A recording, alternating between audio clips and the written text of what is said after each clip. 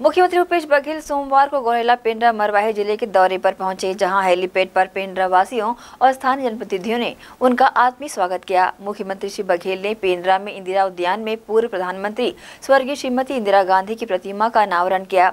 उसके बाद मुख्यमंत्री पेंड्रा प्रेस क्लब पहुँचे और यहाँ उन्होंने पचास लाख रूपए की लागत से बने प्रेस क्लब भवन व वाचनालय का लोकार्पण किया। मुख्यमंत्री भूपेश बघेल ने गौरेला पेंड्रा मरवाही ज़िले वासियों को लगभग पैंतालीस करोड़ रुपए के विकास कार्यो की सौगात भी दी